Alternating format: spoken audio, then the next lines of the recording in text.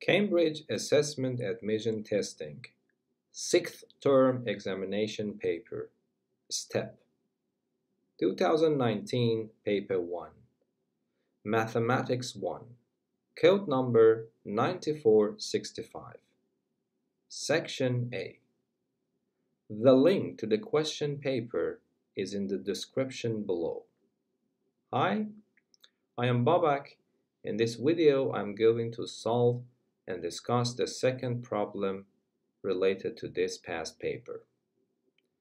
Let me start by reading the question for you first. I will read the first part and try to solve it and then go to the next part. The curve C is given parametrically by the equations x equals to 3 times t squared and y equals to 2 times t cubed. Show that the equation of the tangent to C at the point 3p squared and 2p cubed is y equals to p times x minus p cubed. Okay, so in this problem, in the first part of the problem, I'm supposed to find an equation for the tangent line to the curve C at that given point on the curve. So I have to calculate the gradient of the tangent line first. Okay, so I have to do to deal with somehow the derivative because here x and y are not related together directly. x is related to t, y is related to t as well, so it means that at the end of the day, x and y are related to each other. So, okay, I want to calculate the derivative of y with respect to x in order to be able to calculate the gradient of the tangent line. Okay, but because x and y are not related directly, so let me start with this chain rule. So the derivative of y with respect to t can be written as the derivative of y with respect to x multiplied by the derivative of x with respect to t. Okay, so that's the chain rule, yes?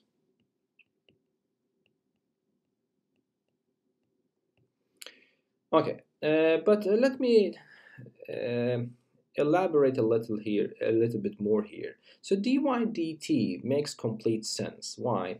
Because y is expressed to be 2 times t cubed, and this relation defines y as a function of t, actually. Yes? What does it mean? It means that if I have this relation, y equals to 2t cubed, for each value of t, I will get exactly one value for y. So this means that this relation defines y as a function of t. The same is also, so then this means that this symbol makes sense. The derivative of y with respect to t makes sense because the notion of the derivative is actually defined for functions. And since y is a function of t, so the derivative of y with respect to t at least makes sense.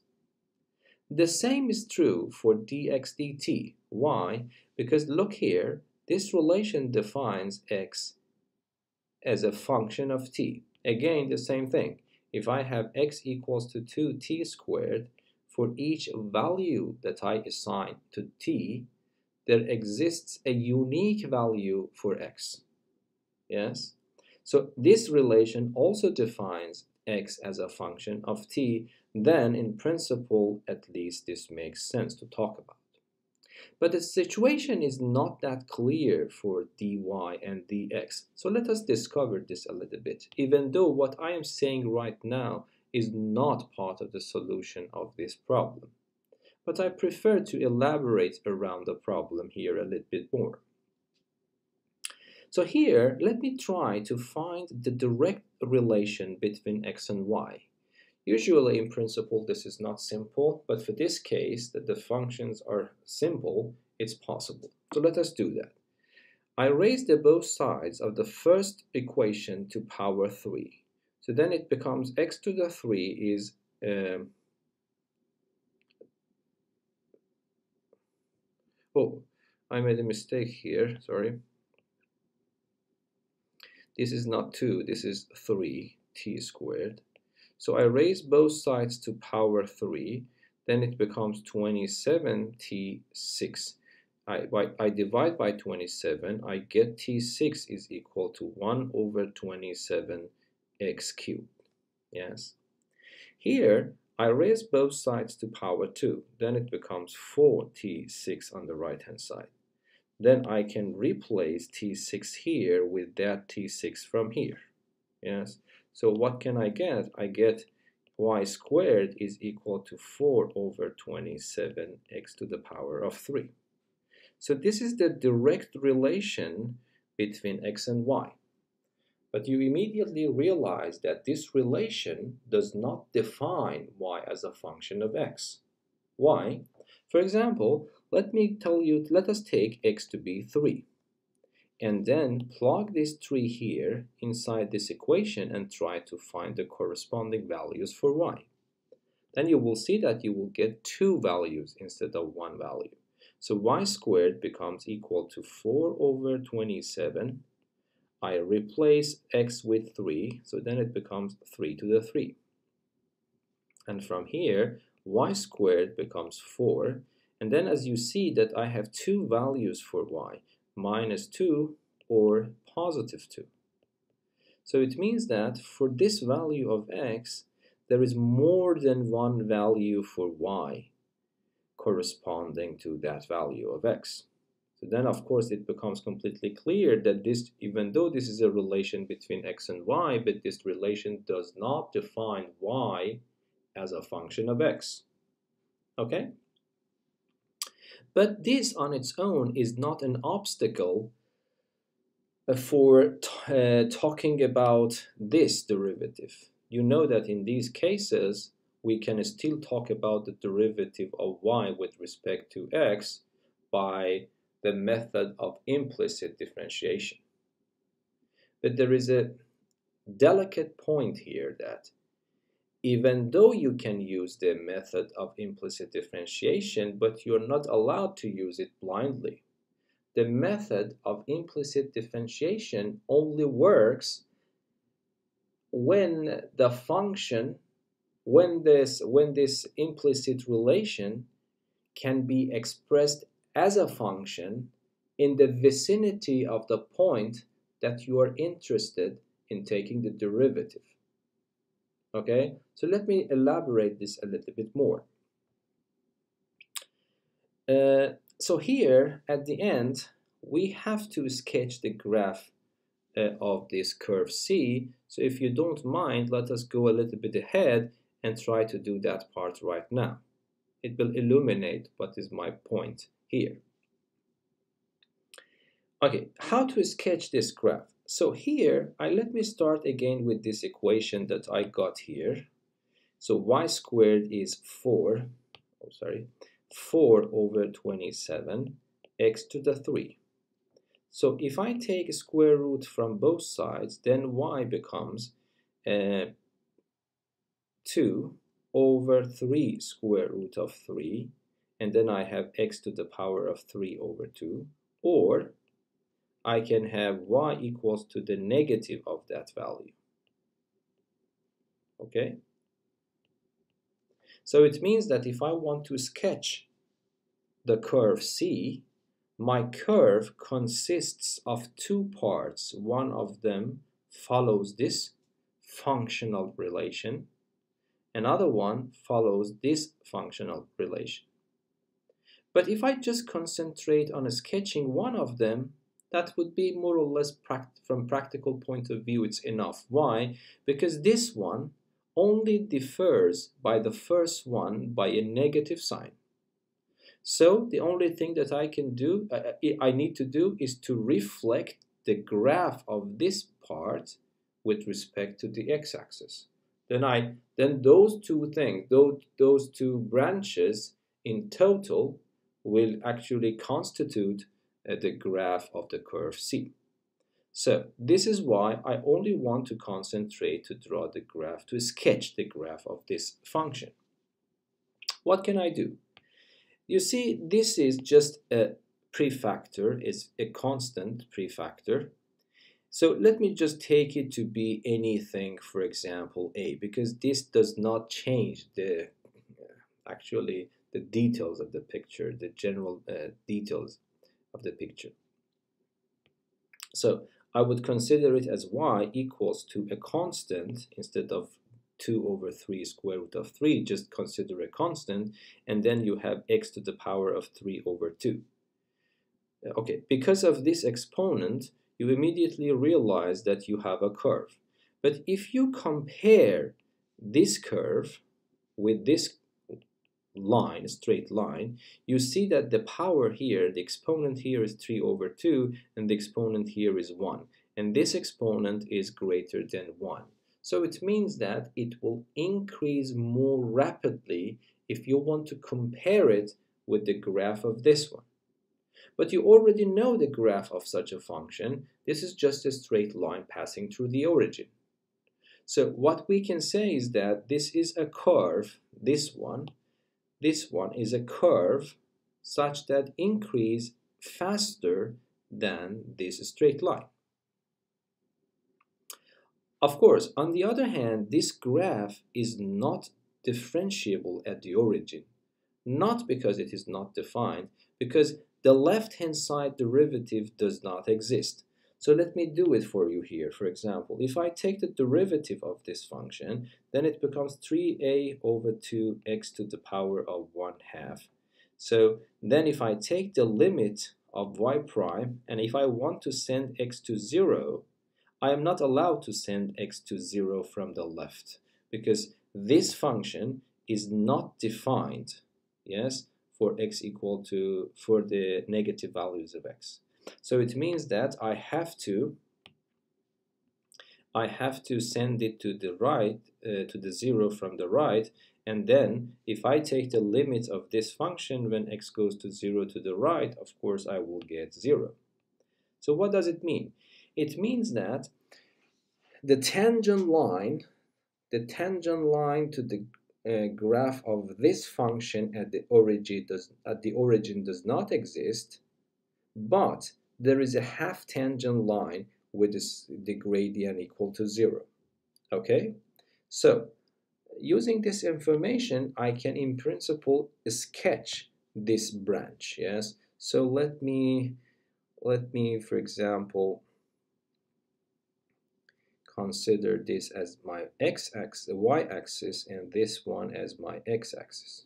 Okay, so this is my x-axis, and this is my y-axis. This is supposed to mm, increase, uh, sorry, this is supposed to increase uh, faster than that one. And then I know that the half uh, positive x-axis is actually tangent to this graph, to the graph of this function at the origin. Okay, but I don't have the full uh, tangent line.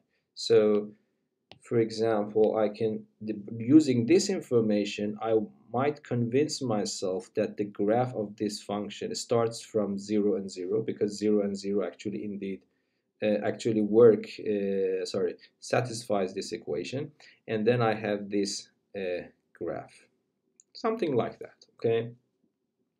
This is similar to the graph of this type of functions.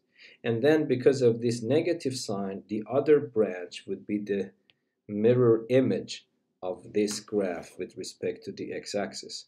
So hopefully if I can draw it, so yeah, so something like that would be the graph of that function. Okay, now let us go back to the main problem. I am supposed to find uh, the equation, an equation for the tangent line to the curve at this point. Okay, I consider two cases. Uh, first, let me consider the case that p is not equal to 0, even though it is not mentioned in the problem, and I really believe that that's a flaw in the question. It, it should have been mentioned that p is not equal to 0. Okay, now let us consider that p is not equal to 0. If p is not equal to 0, then this point would be a point on the curve, on this green curve, but the point is not the origin. Okay, for example, let me suppose that this point is here. Let me call this point point A and the coordinates be 3 pi squared and then 3p cubed. So what is the value of the parameter? The value of the parameter t is actually p, yes? This value for the parameter gives rise to this point. Why? Because if I replace t here with p, the x coordinate becomes 3p squared. And if I replace t with p here, the y coordinate becomes 2p cubed.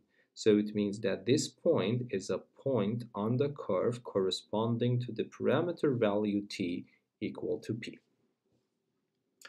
Okay, now can I talk about this dy dx in the vicinity of that point? The answer is yes. Why? Because you can consider the you can consider a neighborhood around that point. In this neighborhood around that point, this part of the curve actually defines a function.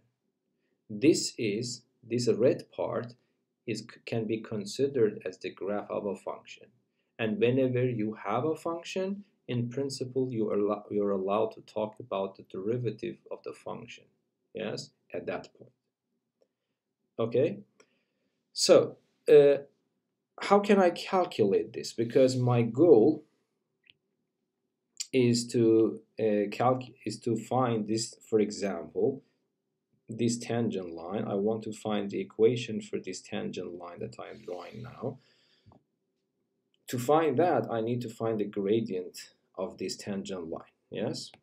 This is easy to do. What I need to do is to consider this chain rule once more and then calculate this bit and that bit and then I can immediately calculate this dy dx which would be the gradient of the tangent line. Okay, so y is 2t3, so this means that dy dt is 62, and x is given to be 3t squared, so it means that dx dt is equal to 60. Okay, okay, but then this means that uh, now I use this relation I substitute this here and I substitute this here and then I can find dy dt dy dx. So let me write it down. So 6t squared is equal to dy dx which is still not known multiplied by 6t and I divide both sides by 60 by the way you see again that t shouldn't be equal to 0 otherwise you're not allowed to divide by 60 Okay, after that, I divide by 60, then dy dx turns out to be t. And because the parameter value here, t is p, so it means that the a gradient, let me call it m, the slope of this uh, tangent line is p. Yes? And then I can immediately write the equation of the tangent line. What's that? It's the formula y minus y0 is m times x minus x0. This implies that I have y minus, what is my y0? y0 is this one, x0 is this one, and m is this one. So replacing these, I will get 3p to the 3 is equal to p times x minus, uh, 3p squared. Again I made a mistake here I think. Sorry so this is not 3p cubed yes. This is 2p cubed. You see this is 2p cubed okay so it means that here I have to write uh, 2p yes. And then this means that y is equal to px minus 3p cubed plus 2p cubed. And then this means that y is equal to px minus p cubed as demanded in the problem. Yes? Okay, but hopefully I could convince you that you are not able to talk about the derivative at the origin. Why? Let us consider the origin. Assume that you want to talk about the derivative of y with respect to x at the origin. This is not doable. Why? Because assume that this is your neighborhood. So let me make it clear. So assume that this is your neighborhood. If you look at it uh, around this point, in the vicinity of this point, what you see is that the curve consists of these two parts. So this does not define a function for you. So you are not allowed to talk about the derivative of y as a function of x because the y is not a function of x in the vicinity of the origin. And it doesn't matter even if you make the neighborhood even smaller, still this does not define uh, y as a function of x. So you are not allowed to talk about dy dx when you are exactly sitting at the origin. Okay, this is another way to say that why they should have mentioned that p is not equal to 0. Okay. Okay, now we go to the next part of the problem. Find the point of intersection of the tangent line, of the tangents to C at the distinct points this 2 3p squared 2p cubed and 3q squared 2q cubed yes like that's very easy because exactly as I did here for example assume that uh, this point is the other point so let me call it b it's called it's 3q squared and 2 cubed q cubed yes and then I want to find the equation of the tangent line here. Or I don't know, it might be happen that B is also on, is on the same branch. But anyway, we want to calculate that one. So everything would be exactly as before. The only difference is that P will be replaced by Q. So I hope that you can immediately realize that the other one, the equation for the other tangent is qx minus q cubed. Okay? Now if you want if you look at the question we are supposed to find the point of intersection of these two tangent lines. It's very easy. I just set up a uh, system of equations. Yes one equation is y equals to px minus p cubed the other one is y equals to qx minus q cubed and what I do I just equate the y value so it becomes px minus p cubed is equal to qx minus q cubed. And I am try I'm trying to find x.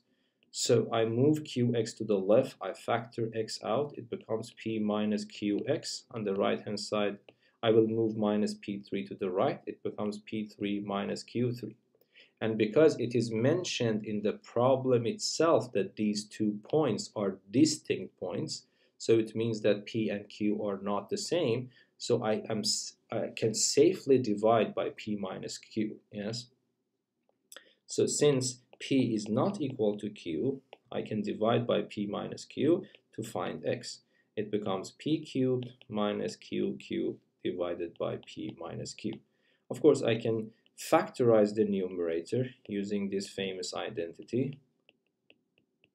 Yes. And then divide by p minus q and then what happens that this p minus q and that p minus q are gone so what I get is that the x coordinate of the point of intersection is p squared plus I write q squared next to it and pq at the end so this is the x coordinate of the intersection point between these two tangent lines but I need to also calculate the y coordinate it's easy for example, I can take this x here and put it here, then I can find my y. So y becomes equal to p instead of x. I put p squared plus q squared plus pq, and then I have minus p cubed. If I multiply p inside, it becomes p cubed plus pq squared plus p squared q minus pq. And then you can see that these two are gone, and between these two I can factor pq out. So then y becomes pq times p plus q. So that is also uh, the y coordinate of the point of intersection. Okay, now I can take this one and that one with me to the next page. This is the x coordinate and this is the y coordinate of the point of intersection and I will call the point of intersection i, okay? So if we go to the next page, what I can write is that i, the intersection point of the, those two tangent lines, uh, is given by uh, this relation.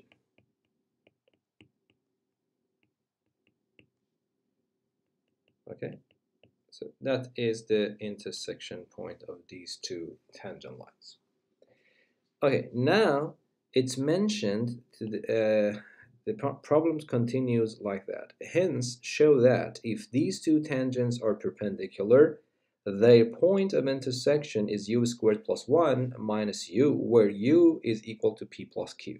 Okay, so here I know that these two tangents are supposed to be perpendicular. So if you go back and look here, look here, these are the equations of those tangent lines. One of them has gradient p, the other one has gradient q. And then in the problem, it's mentioned that these two tangent lines are supposed to be perpendicular. So it means that the product between the uh, gradient of this and the gradient of that has to be equal to negative 1. Yes? Okay? So here it means that tangents, so I would say tangents are supposed to be perpendicular. So this implies that P times Q is negative 1, yes? Now I can put it here, between here, and then I can write it here. So, but of course, P squared plus Q squared plus PQ can be written in this form. Instead of p squared plus q, uh, q squared, I can write p plus q to the 2 minus 2pq. And then I have a plus pq at the end. So if I simplify that, it becomes p plus q to the 2 minus pq. Yes? But pq itself is negative 1. So if I plug it here, then it becomes p plus q to the 2 plus 1. Yes? Okay, so now assume that P plus Q is U as given in the problem here. Okay, then this means that the y coordinate, the y coordinate, which is PQ times P plus Q, becomes simply minus U. Why? Because PQ is minus 1.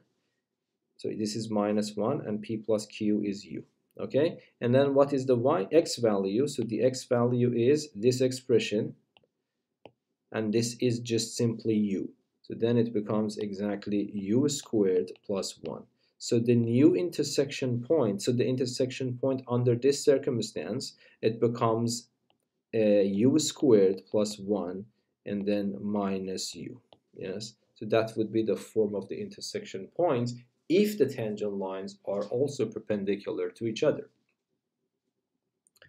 Okay, now let us go to the next part. The curve C tilde is given parametrically by the equations this, okay, x equal to u squared plus 1 and y equals to minus u. We want to uh, find the coordinates of the points that lie on both C and C tilde. Okay, so let me write. So what is C? C has this parametric equation, x equals to 3t squared and y is equal to 2t cubed. And C tilde has this parametric equation, u squared plus 1 and y is minus u. you are supposed to find the intersection point between these two curves. So it means that you need to find the point for which the x coordinates are the same and the y coordinates are the same. So it means that you have to solve a system of equations. So 3t squared has to be equal to u squared plus 1 and 2t cubed has to be equal to minus u. So if you look here, what is this? This is just a system of two equations in two unknowns. The unknowns are u and t. I want to solve this system. So the most important uh, strategy to solve a system is the method of substitution. So you can see here that u is just 2t cubed and then I can put this one instead of this u here then I will get an equation only in terms of uh, only in terms of uh, t. Sorry, I made a mistake here. This is supposed to be negative 2, 3. Okay. So if I put this here, this becomes 3 to 3t squared is equal to minus 2t3 to the power of 2 plus 1. Then this becomes 4t to the power of 6. I move this to the right hand side so it becomes negative 3t squared and then I have 1 equals to 0. So this is the equation that I have to solve and that is a sixth degree equation. But this is one of those six degree equations that if you look a little bit closer you can solve immediately by factorizing this polynomial on the left hand side. How? So you can write it like this so you instead of 4t, so let me write 4t6, but instead of minus 3t squared, I would write minus 4t squared, but plus t squared, and then plus 1 equals to 0, yes? So you see that this expression is just minus c minus 3t squared. But what is the benefit of that is that I can take these two and factor 4t squared out. So what is left from the first one is t to the 4 what is left is minus 1 from the second. And then I have t2 plus 1. I can put them in inside a pair of brackets. And then I can use the conjugate pattern to factorize this. So this becomes 4t squared. And then I have t2 plus 1, t2 minus 1. And then I have t2 plus 1 at the end equals to 0.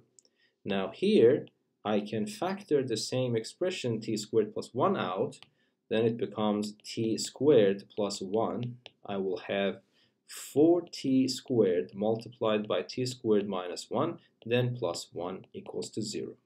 Okay, I can simplify this a bit, so it becomes t squared plus 1. Here it becomes 4t to the 4 minus 4t to the 2 plus 1 equal to 0 but I'm sure, completely sure that you immediately can realize this pattern. That's a quadratic pattern, so I factorize it one step more. So it becomes t squared plus 1, then I will have 2t squared minus 1 to the 2 equal to 0. And then the product of two numbers is supposed to be 0. So it means that either the first one is 0 or the second one is 0. But the first one cannot be equal to 0 because t squared is non-negative. So t squared plus 1 is a positive number and it cannot be equal to 0. So it means that I have only one possibility left. And that is this expression has to be 0. Then it means that t is plus or minus 1 square root of 2. Yes, so this is the value that I get for t. But I'm supposed to find the intersection point. So I will take these t's the two values for t and plug them here, I get x and y for a positive one, that's an intersection point. I change t to the negative one, I get another point, so there will be two intersection points, yes? So let me just do that. Okay, so if t is plus or minus 1 over a square root of 2, x is 3t squared plus or minus 1 square root of 2 to the 2 but either plus or minus doesn't make uh, any difference here because power of 2 will actually kills the positive and negative signs. It becomes positive at the end. So then it becomes 3 over 2 yes. But the y value is 2t cubed so it becomes 2 and then you have plus and plus or minus 1 over square root of 2 to the power of 3. Yes, so then if I raise it to power 3, it becomes plus, so it means that y is equal to plus or minus 2 over 2 square root of 2.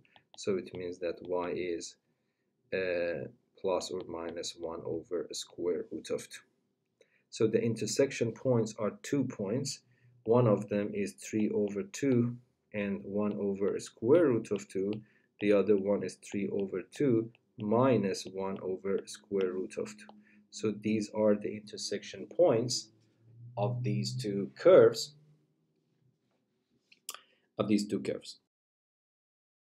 Okay, now uh, we have to go to the last part of the problem. And if you look here, we're supposed to sketch the graph of C and C tilde on the same axis. I have already done that for C, so uh, I will go to the next page and do once more for C, and in the same coordinate system, I will also sketch the graph of C tilde. But then let me take the parametric equation of my curve with me to the next page. Okay, so here, let me copy and paste that one here. So, okay, so let me clean this. Okay, so this is, and I can move it a little bit here. Okay, so if you remember, I had this from the previous picture, a previous page. This was the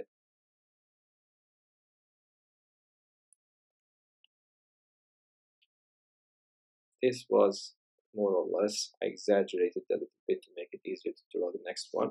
So this was C. Yes. Now I want to draw the C tilde. It's not that hard to realize that C tilde is a parabola.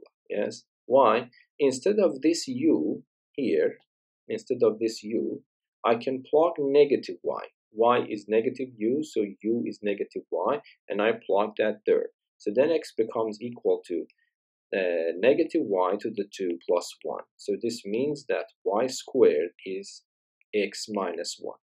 So you can immediately realize that this is a parabola opening to the right and the vertex is 1 and 0. So the vertex of this parabola is 1 and 0. So assume that this is uh, the point of 1 and 0. And if you go back to this page, so let me take this with me as well. So these are the intersection points of C and C tilde. So if I go here, we can just put it here. Yeah, and resize it a little bit. So these are the points of intersections. So 3 over 2 is a little bit larger than 1. If this is 1, then might be 3 over 2 you can consider to be here. Yes? And then this 1 over square root of 2 and minus 1 over square root of 2 are exactly these points of intersections. Yes? So this is a parabola. The vertex is this point 1 and 0. This point is 1 and 0 and this curve intersects the C curve at these two points, which are given by these coordinates. So using this information, you can immediately uh, draw the graph, not the graph, you can at least sketch the graph. So it would be a parabola like this that will touch the curve C exactly at these two points, which we got here. Yes, and then the vertex is 1 and 0. So if I want to sketch both of them in the same coordinate system, it looks like that. Yes? And of course, I have a better picture here. I have done it with GeoGebra here. So let me also explain it a little bit. So here, this one and that one are the branches of C. Yes, I haven't drawn the C tilde here, but what I have done, this is one of the tangent lines and then I have drawn another tangent line here so such that these two uh, tangent lines are perpendicular here. And then on the next uh, minutes of the video, I will show a simulation that I have done with GeoGebra.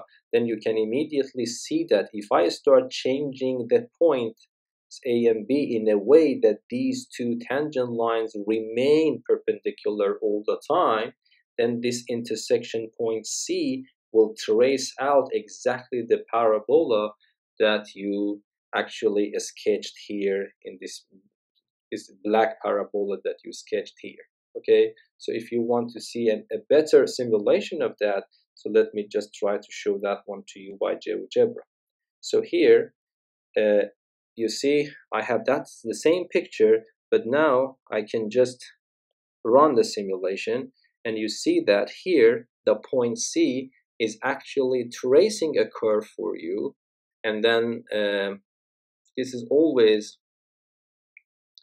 so it's a little bit slow now but yeah but I think everything becomes clear. And this blue curve that is produced uh, here you can see is the same parabola with touches uh, C at two points. Okay? Okay hopefully everything is clear. I would appreciate if you enjoyed the video. Please like the video and please leave me comments. What can I do in order to improve uh, the the content of the videos? I'm ready to hear any suggestions and objections that will help me to improve my videos and as a consequence it will help the students uh, learn uh, mathematics in a better and easier way okay till the next video uh, thank you and goodbye.